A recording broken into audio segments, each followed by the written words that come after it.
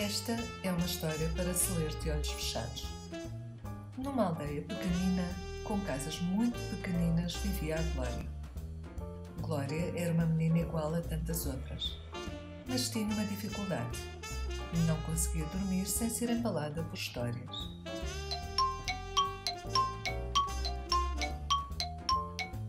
Quando alguém parava de contar a história, abria logo os olhos e dizia: Naquela aldeia, todos sabiam que várias vezes por mês chegava a noite de embalar a menina. Mas apesar de ninguém se queixar, o cansaço estava a tornar-se visível.